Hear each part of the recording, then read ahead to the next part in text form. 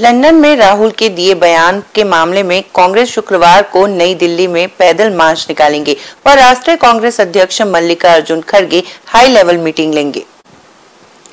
सांसद राहुल गांधी के लंदन और कर्नाटक में दिए विवादित बयानों पर भाजपा ने लोकसभा में उसकी सदस्यता रद्द करने की जाँच की मांग की है।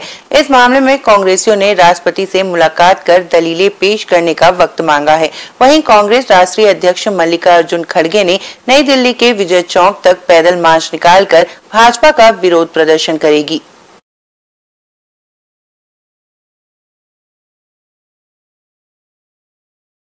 न्यू वीडियोस की अपडेट पाने के लिए सब्सक्राइब करें इंडियन न्यूज़ को और बेल आइकन को दबाएँ।